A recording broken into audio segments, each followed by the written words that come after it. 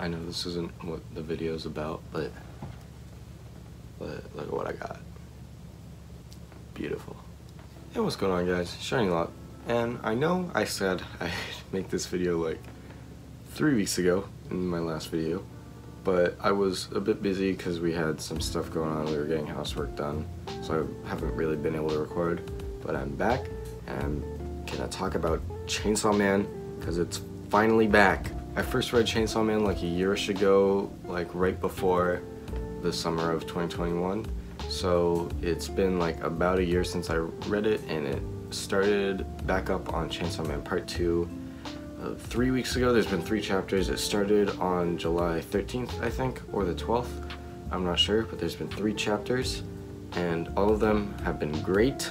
In preparation, I actually went and reread all of part one because it's out physically. So one night I just sat down, blasted through like six volumes in one sitting, and then finished the others later.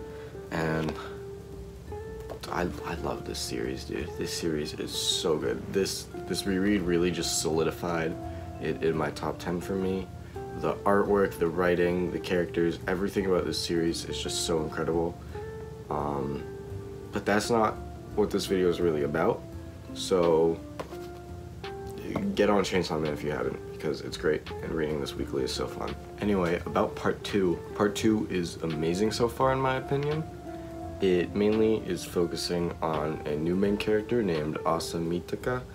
Um, and Denji is not back yet. Um, hopefully he'll come back. I'll get to that later because I have a I have a theory that other people also believe in, but I am a very strong believer.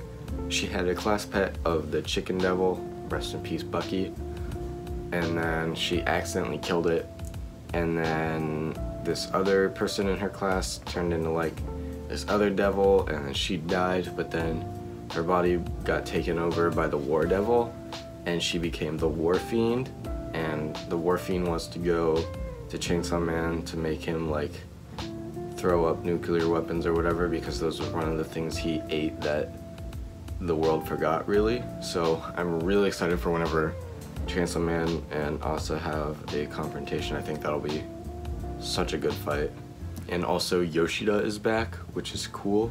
Um, I forgot he existed until my reread really, so that's good. Hopefully he'll play a more central role in this part because I do think he is really cool. His fight with Quanxi in part one was really cool too, so he's a really cool character. I hope he gets a really big spotlight in this part. And one thing I do really like in this part is both Asa and the War Devil have like like they like share one body so it's like a split personality kind of and I like seeing like the like difference between the two when they switch between each other I think it's just really funny and then one more thing because I just think this theory I believe it um, but I believe that the girl Yuko I believe that that is Denji in disguise and you might be thinking, why do you think that? Well, in the first panel that she's in, she says, nice to meet you partners, and I think that's a really Denji thing to say.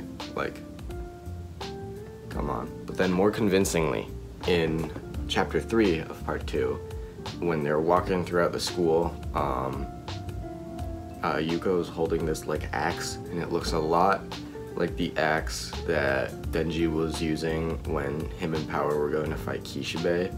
So I think that actually holds more ground, but I don't know, could just be Fujimoto. That being said, whether it is Denji or not, I'm really excited for whatever he makes his return. That's going to be such a cool moment, and I can't wait. So that's going to do it for this video. Sorry it's a little shorter than my other videos, but I just really wanted to talk about Chainsaw Man because I love that series. If there's anything else you guys want to see from me in the future, let me know in the comments, and I'll see you guys in the next one. Goodbye.